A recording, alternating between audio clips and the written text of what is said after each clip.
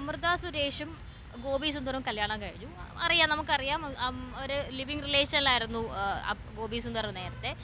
അപ്പോൾ അത് ബ്രേക്ക് ചെയ്തിട്ട് അടുത്ത ഒരു വിവാഹ ജീവിതത്തിലേക്ക് പോയി. ഇത് നൽകുന്ന ഒരു പാഠം അല്ലെങ്കിൽ അത്തരം ഒരു സംസ്കാരത്തിലേക്ക് നമ്മൾ വരുന്നതുകൊണ്ട് തെറ്റുണ്ടോ?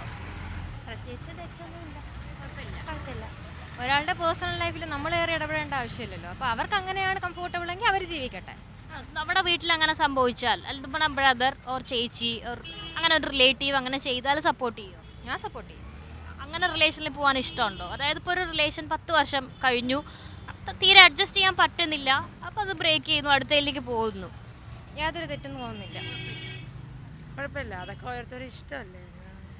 പിന്നെ അതിന്റെ ഈ സൈബർ ബുള്ളിങ് ഉണ്ടല്ലോ. ഇവരുടെ ജീവിതത്തിലേക്ക് ഇങ്ങനെ കടന്നു വന്ന് കടന്നു വന്ന് ഇങ്ങനെ ആൾക്കാരിങ്ങനെ ഓരോന്ന് പറഞ്ഞുകൊണ്ടിരിക്കുന്നതിനെ പറ്റി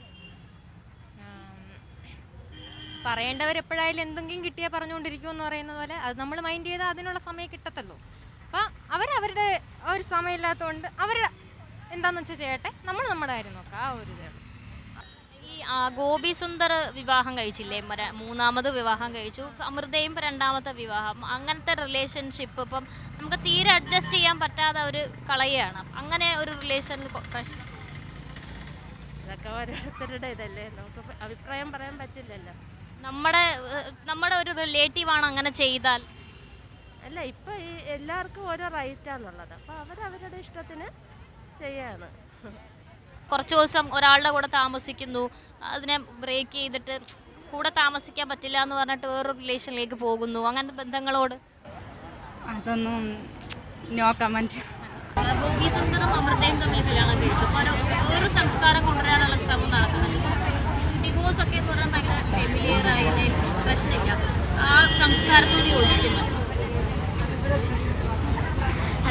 അവർ ഇഷ്ടമല്ലേ? പ്രശ്നമല്ല അങ്ങനെ. ഇല്ല. നമ്മുടെ റിലേറ്റീവിലൊക്കെ അങ്ങനെ വന്നാലും നമ്മൾ സപ്പോർട്ട് ചെയ്യും. സപ്പോർട്ട് ചെയ്യും. അവരെ ഇഷ്ടമല്ലേ അത്? അവർക്ക് ഗോപി സുന്ദറും അമൃതയും കല്യാണം കഴിച്ചു. അപ്പോൾ ഒരു ഒരു പുതിയൊരു രീതി. അതായത് അവൾ പുള്ളി ആദ്യം കല്യാണം കഴിച്ചു. കഴിഞ്ഞു അത് കഴിഞ്ഞ് ലിവിങ് ടുഗെദർ ആയി. അത് കഴിഞ്ഞിട്ട് വീണ്ടും ഇപ്പോൾ വേറൊരു ബന്ധത്തിൽ വന്നു. അങ്ങനെ ഒരു റിലേഷനിൽ അങ്ങനെ ഒരു സിസ്റ്റം വന്നാൽ നന്നായിരിക്കും. എനിക്കിഷ്ടമല്ല. എനിക്കിഷ്ടമല്ല അത്. പിന്നെ അവരൊരു ചോയ്സ് അതിൽ ആൻസർ പറയാൻ നമുക്ക് പറ്റത്തില്ലല്ലോ. പക്ഷെ ഇത് ഇത് ഇത് നോ ആൻസർ നോ കമൻസ് നമുക്കങ്ങനെ ഒരു ബന്ധം ഇപ്പോൾ കല്യാണം കഴിച്ചു. അതിൽ തന്നെ ഒരുപാട് കഷ്ടപ്പാടുകളുണ്ടെങ്കിൽ അതിൽ നിന്ന് മൂവ് ഓൺ ചെയ്യാമല്ലോ ഓ സാക്രിഫൈസ് അല്ലേ ജീവിതം? അങ്ങനെയാണ് മുന്നോട്ട് പോവാം. അത് ഓരോരുത്തരുടെ ഭാഗ്യം. എനിക്ക് ഓക്കെയാണ് ഓരോരുത്തർക്കും അൺലക്കി ആണെങ്കിൽ പിന്നെ അത് അവരവരുടെ ഇഷ്ടമല്ലേ? ഗോപി സുന്ദറും അമൃതയും കല്യാണം കഴിച്ചു. അപ്പോൾ ഗോപി സുന്ദറിന്റെ ഫസ്റ്റ് മാരീഡ് കഴിഞ്ഞു. അത് കഴിഞ്ഞിട്ട് പുള്ളി ലിവിങ് റിലേഷനിലായിരുന്നു അപ്പോൾ തേർഡ് കല്യാണം കഴിച്ചു. അപ്പം അങ്ങനെ ഒരു മോഡേൺ അല്ലെങ്കിൽ ഒരു എന്താ പറയുക ഇംഗ്ലീഷ് കൾച്ചർ നമ്മുടെ അടുത്തേക്ക് കൊണ്ടുവന്നാൽ എങ്ങനെ ഇരിക്കും? അത് അങ്ങനെ അക്സെപ്റ്റ് ചെയ്യാൻ മൈൻഡ് ഉള്ളവർക്കാണെങ്കിൽ അക്സെപ്റ്റ് ചെയ്യാം. അല്ലെങ്കിൽ എനിക്ക് താല്പര്യമില്ല അപ്പോൾ ഒരു കല്യാണം കഴിച്ചു. ഒരു- ഒരുപാട് കഷ്ടപ്പാടുകളുണ്ട്. അതായത് നമുക്ക് അറിയാൻ പറ്റില്ലല്ലോ. ഒരു മനുഷ്യനാണല്ലോ അപ്പം അതിൽ സഹിച്ചു നിൽക്കും അപ്പം തന്നെ അതൊന്നും നോക്കേണ്ട ആവശ്യമില്ല. നമ്മുടെ കംഫർട്ട് സോൺ ഏതോ അതിലേക്ക് പോവുക. അപ്പോൾ ബെറ്റർ കല്യാണം കഴിക്കാതെ ലിവിങ് ടുഗദർ അല്ലേ? ആ അത് എന്റെ വീട്ടിൽ ശരിയാവത്തില്ല. അത് അത് അവനവന്റെ ഇഷ്ടമാണ് പേഴ്സണൽ ചോയ്സ് അല്ലേ? ഇപ്പം എനിക്ക് താല്പര്യമില്ലെന്ന് പറഞ്ഞ് അപ്പുറത്തേക്ക് നാക്ക് താല്പര്യം ഉണ്ടെങ്കിൽ അവർ ചെയ്തോട്ടെ.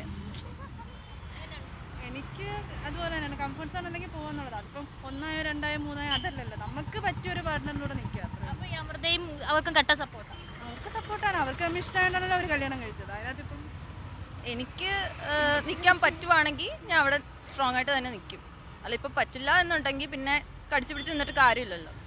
നമ്മൾ ഗ്രേറ്റ് ഇന്ത്യൻ കിച്ചൺ കണ്ടു. ഗ്രേറ്റ് ഇന്ത്യൻ കിച്ചണിൽ കണ്ടതിൽ അവർ ഒരു സഫർ ചെയ്തുകൊണ്ടേയിരുന്നു. പക്ഷെ ഒരു തവണ പോലും അവരെ എതിർത്ത് പറയുക ഒന്നും ചെയ്തില്ല. പെട്ടെന്ന് ഒരു ദിവസം ആ ഒരു സിസ്റ്റത്തിൽ നിന്ന് ഇറങ്ങി അങ്ങ് പോയി സാധന അങ്ങനെ അതാണോ നല്ലത്? ആ ഒരു സിസ്റ്റത്തിനുള്ളിൽ നിന്ന് ഫൈറ്റ് ചെയ്യുന്നതാണോ നല്ലത്? അയ്യോ ഇറങ്ങി പോന്നാണ്. ഫൈറ്റ് ചെയ്തിട്ടും കാര്യമൊന്നുമില്ല. ആ സിനിമയ്ക്കകത്ത് തന്നെ അവൾ പറയുമ്പോൾ അവളുടെ വാക്കുകളെ സപ്രസ് ചെയ്യാനല്ലാതെ അവളെ കേൾക്കാനുള്ളതൊന്നും ആരും ശ്രമിക്കുന്നില്ലല്ലോ. അപ്പം അത് ഇറങ്ങി പോകുന്നത് തന്നെ നല്ലത്. എനിക്ക് അതിനോട് കംപ്ലീറ്റ് യോജിപ്പില്ല. പ്രൊട്ടസ്റ്റ് ചെയ്തിട്ട് തന്നെ ഇറങ്ങിപ്പോണായിരുന്നു എന്ന് തോന്നുന്നു. അതേ അഭിപ്രായം തന്നെയാണ്. അല്ലാതെ പിന്നെ അങ്ങനെ ഒരു സാഹചര്യത്തിൽ അഡ്ജസ്റ്റ് ചെയ്ത് സിനിമയുടെ ക്ലൈമാക്സ് എങ്ങനെയാ? അവൾ ഇറങ്ങി പോകുമ്പോൾ നെക്സ്റ്റ് അയാൾ മാരി ചെയ്യുന്ന നെക്സ്റ്റ് ഒരു വിമനെയാണ് ആ വിമനും ഇതേ സിറ്റുവേഷൻസ് കൂടെ സഫർ ചെയ്തുകൊണ്ടത് പക്ഷെ അതേസമയം ആ നായിക പ്രൊട്ടസ്റ്റ് ചെയ്തിരുന്നു എന്നുണ്ടെങ്കിൽ കുറേയൊക്കെ ചേഞ്ചസ് ആ ഒരു സിസ്റ്റത്തിൽ വരുത്താൻ പറ്റുമായിരുന്നു.